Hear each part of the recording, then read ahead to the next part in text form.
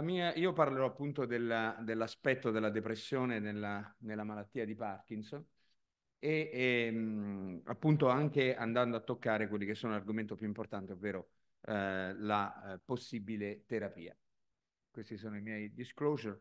Beh, innanzitutto inizierei con un aspetto di provocazione, ovvero eh, la, malattia di, la depressione nella malattia di Parkinson è un sintomo della malattia stessa oppure un aspetto reattivo oppure è, un, è un'associazione casuale?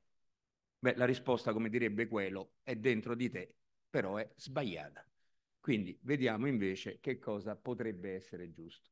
Allora, innanzitutto sappiamo che i sintomi psichiatrici, neuropsichiatrici, depressione inclusa, sono estremamente frequenti nel, nei pazienti con malattia di Parkinson. Nello studio Priamo condotto in Italia sui sintomi non motori, vedete che raggiungiamo quasi l'80% di pazienti che hanno problemi di natura psichiatrica. Iva Gid diceva che la malattia di Parkinson è una malattia neuropsichiatrica, non è una malattia eh, puramente motoria.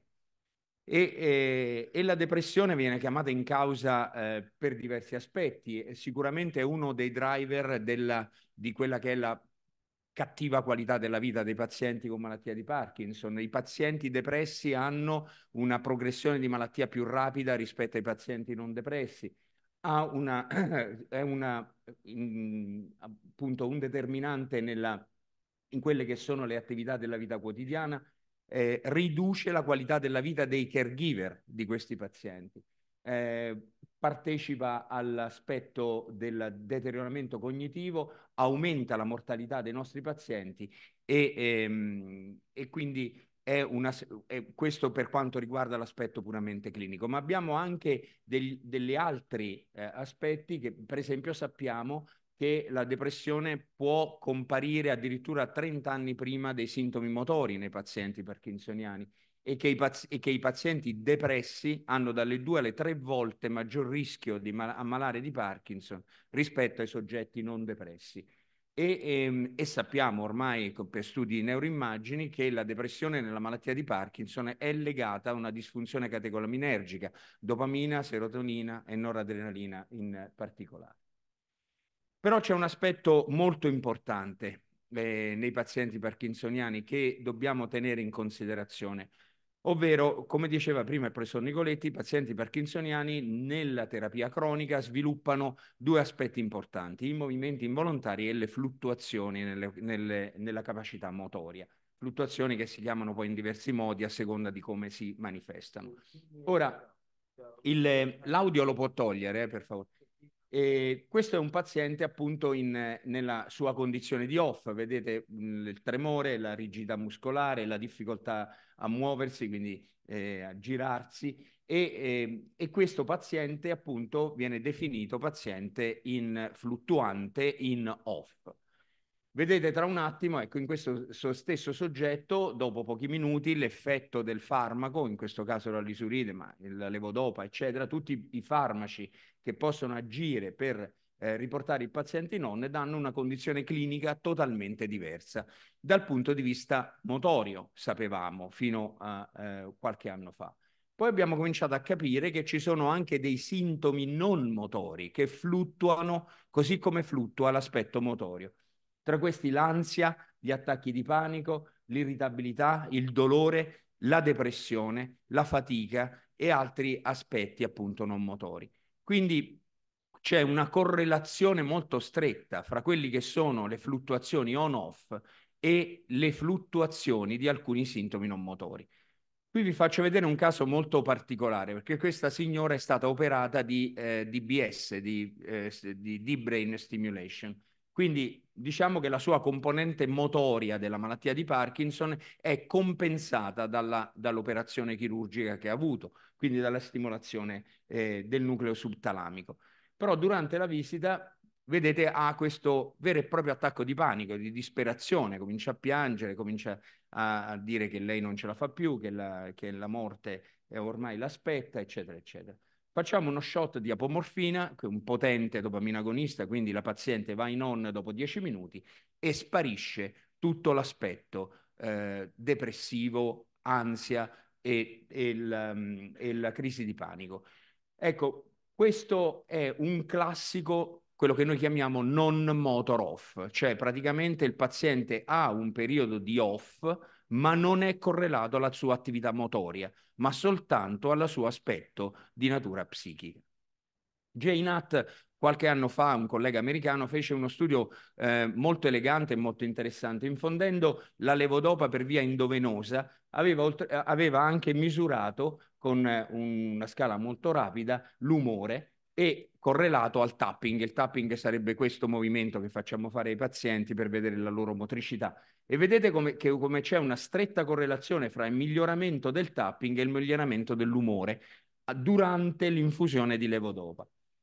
Eh, correla con la dose di levodopa infusa, paziente che, i pazienti che prend, quando prendevano un milligrammo pro chilo per ora avevano un miglioramento superiore allo 0,5 milligrammi, e la stessa cosa è stata dimostrata per l'ansia, quindi l'ansia scendeva durante la, la, la, terapia infusionale per poi risalire alla fine della terapia infusionale. Per sapete, la levodopa ha un'emivita molto breve, per cui al momento in cui io spengo l'infusore, dopo mezz'ora il paziente è di nuovo in off.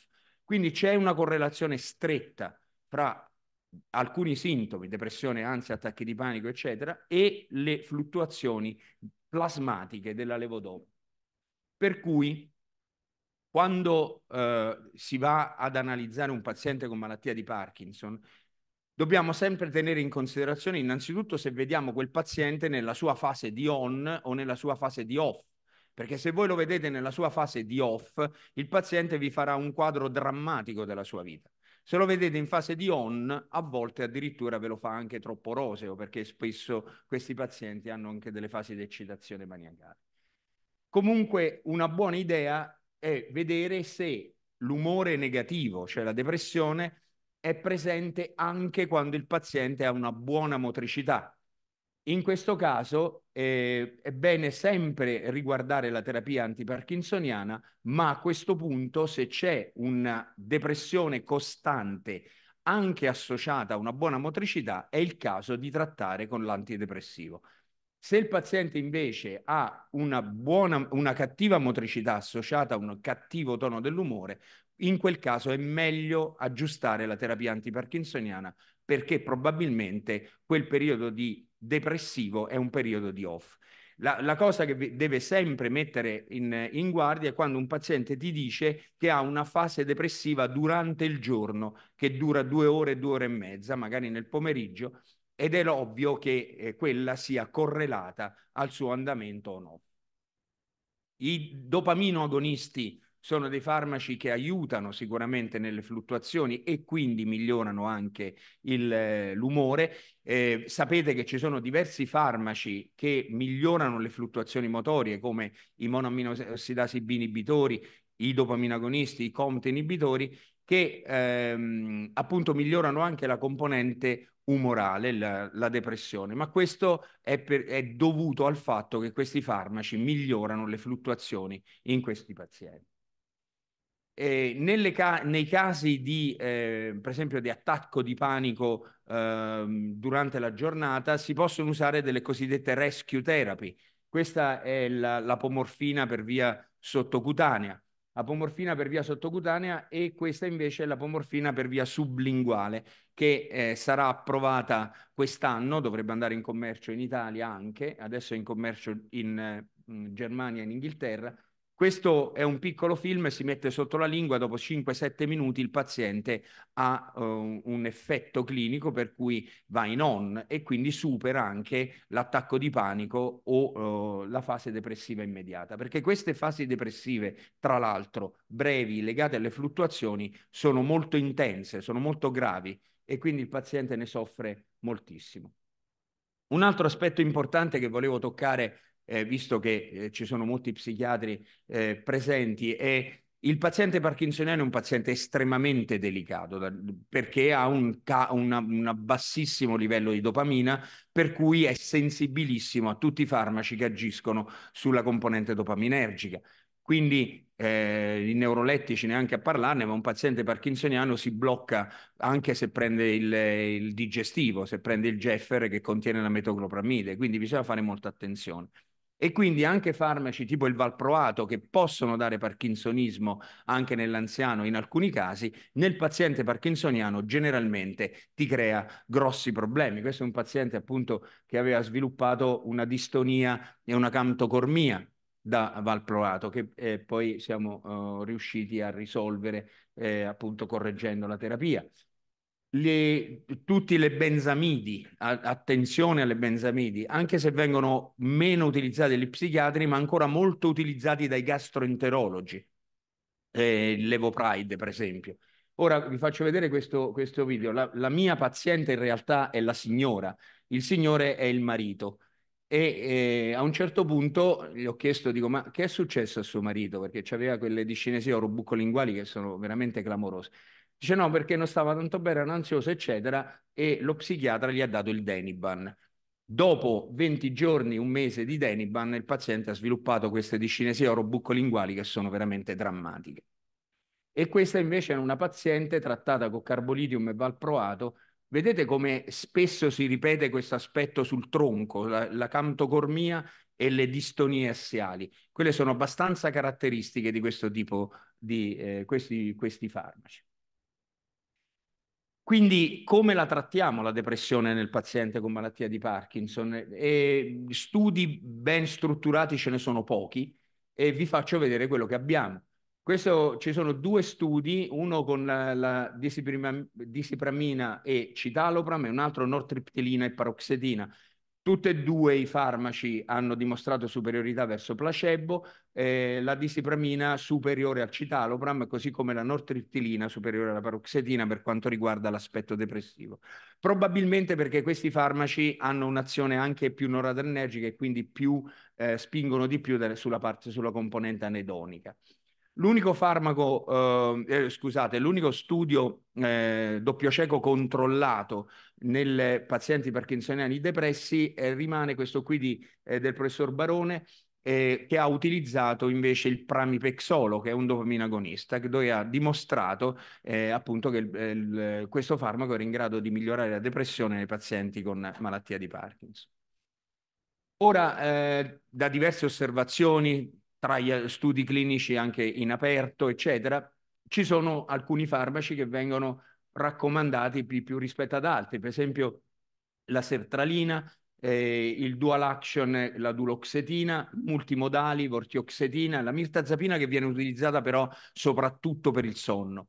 Eh, e poi farmaci eh, dopamina agonista come il pramipexolo, ropinirolo, rodigotina. La vortioxedina ve l'ha già presentata il, il, professor Nicoletti molto bene, per cui non spendo tempo a eh, dirvi di nuovo di che cosa si tratta.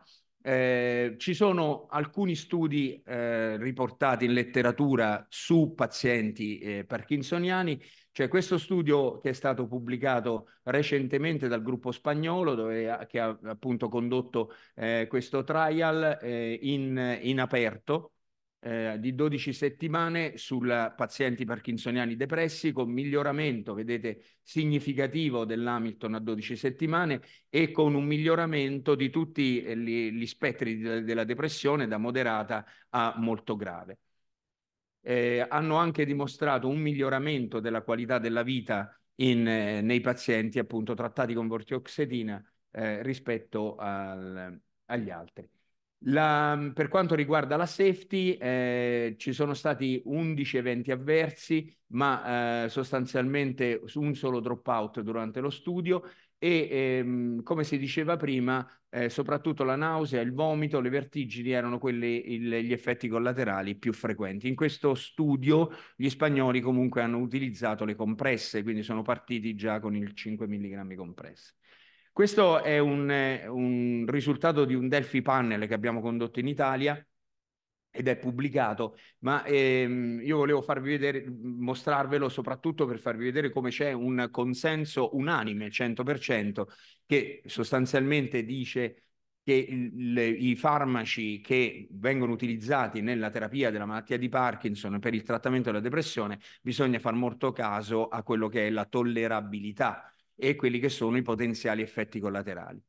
Per cui eh, abbiamo condotto questo studio seguendo le, eh, le indicazioni dell'AIFA per quanto riguarda la tollerabilità, quindi il primary endpoint di questo studio era la tollerabilità della vortioxetina in pazienti con malattia di Parkinson in fase avanzata e, e, ovviamente depressi. Quindi il primary endpoint era la tollerabilità, poi come secondary endpoint ovviamente siamo andati a vedere anche che cosa succedeva eh, sull'umore. Eh, la tollerabilità è stata eh, valutata a seconda di un self-report di effetti collaterali, l'elettrocardiogramma e gli esami ematochimici. Eh, questi sono appunto i criteri di inclusione e esclusione. Abbiamo incluso pazienti ovviamente che avevano eh, una depressione costante, come ho spiegato prima, non un aspetto depressivo fluttuante legato alle fluttuazioni motorie. Eh, abbiamo studiato 20 pazienti, l'età è la classica età del, di, questi gruppi di pazienti, anche se come sapete i pazienti parkinsoniani sono, molti pazienti parkinsoniani sono più giovani, ma eh, nei trial clinici l'età media è sempre intorno ai 60 anni. Eh, questi soffrivano di depressione da quasi due anni e prendevano 700 mg di levodopa. Questo è il, è il diario delle varie visite eh, tutti i pazienti hanno, noi abbiamo utilizzato le gocce, quindi i pazienti iniziavano con tre gocce eh, la sera dopo cena, aumentavano una goccia al giorno fino a raggiungere le 10 gocce. Nei pazienti sotto i 65 anni, se necessario, le gocce sono state portate a 20, quindi 20 mg al giorno. Per quanto riguarda i risultati, non abbiamo visto effetti collaterali negli esami di laboratorio né nell'elettrocardiogramma, ma la cosa più importante che è l'UPDRS score, quindi la valutazione dei sintomi dei pazienti parkinsoniani non è variata, quindi la vortioxetina non influenza i sintomi parkinsoniani, non dà un peggioramento dei sintomi della malattia di Parkinson, come per esempio può fare in alcuni casi la paroxetina o la sertralina che per esempio tendono ad aumentare il tremore. Abbiamo avuto cinque pazienti con eventi avversi, eh, tre di questi sono, hanno lasciato lo studio, eh, nausea, eh, dizziness confusione. In, la confusione purtroppo è un problema quando si trattano i pazienti con malattia di Parkinson, un po' con tutti i farmaci, ma, e quindi bisogna farci attenzione. Abbiamo avuto solo un caso comunque legato alla confusione. Abbiamo avuto un paziente che ha riportato un calo della libido che... Mh, è raro, molto raro, come dicevamo prima, la corticosteroidina mai successo, eh, però non ha interrotto lo studio e eh, un paziente invece abbandonato per problemi di restrizione Covid. Eh, per quanto riguarda eh, l'effetto sull'aspetto umorale, c'è stato un miglioramento dell'Hamilton e della BDI. Vedete come l'UPDRS, parte terza, che è la parte più importante per l'aspetto motorio, non cambia prima e dopo il trattamento. La maggior parte dei pazienti ha riportato un, un miglioramento netto eh, della sintomatologia, eh, ovviamente re, legata alla sintomatologia depressiva. Quindi eh, in questo studio noi abbiamo dimostrato la tollerabilità di vortioxetina nei pazienti con malattia di Parkinson e quindi la vortioxetina può essere usata in maniera safe, diciamo, nel, nei pazienti con malattia di Parkinson con depressione eh, stabilita. E, ehm, e, quindi questo infatti veniva riportato anche dai colleghi che hanno risposto alla Delphi Panel. Quindi in conclusione, eh, quando si trattano i pazienti col Parkinson bisogna fare attenzione a fare una corretta diagnosi, quindi distinguere quella che è la, la depressione da fluttuazione dalla depressione vera. Eh, ci sono depressione ansia può essere associata all'off, può essere il primo sintomo del wearing off, quindi va ottimizzata la terapia e poi si possono utilizzare gli antidepressivi se il paziente ha una depressione costante e come abbiamo visto la vortioxetina è sicuramente un farmaco che deve essere preso in considerazione. Grazie.